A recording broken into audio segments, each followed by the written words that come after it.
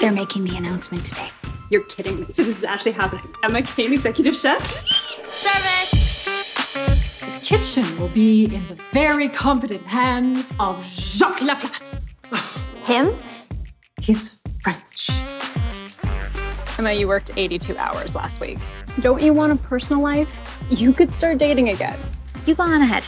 Mrs. Campbell Patrick, I bet you that I can turn around not just any kitchen, but the worst restaurant in the city. If I can do that, you're going to give me that promotion. You have two weeks. Wait, two weeks? Joe's every meal is tailor made to each customer since 1982. Mm, this shouldn't taste as good. This makes no sense. Who taught you how to cook? This place was originally my old man's. So, how much do I owe you? Forget about it.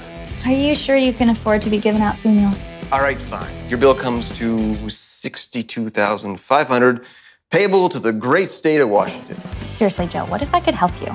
I promise that I can turn you and this restaurant around in two weeks. So, we're going to be cooking a classic French staple. It'll give you all the basic insights into French cooking while also requiring you to be Well, we're fine. less you. So, in order for you to help me become a better chef, I need a better idea of where you came from. which means Sunday dinner with my mom, Exactly. Cooking is like love. You can make mistakes and you can figure it out along the way. It's not just about what's on your plate, it's history, it's a, a celebration of different peoples and cultures. It's beautiful. yeah, it is beautiful. I've arranged for you to work at the Cafe Dar tomorrow. Your great teacher is no friend of yours, hmm? She's only trying to win a bet. So, all that stuff you said about believing in me, about wanting to save the restaurant, was any of that even true? You have to believe me, Joe. I meant every word I said. Messed up. Really messed up. It's okay to make mistakes. That's normal.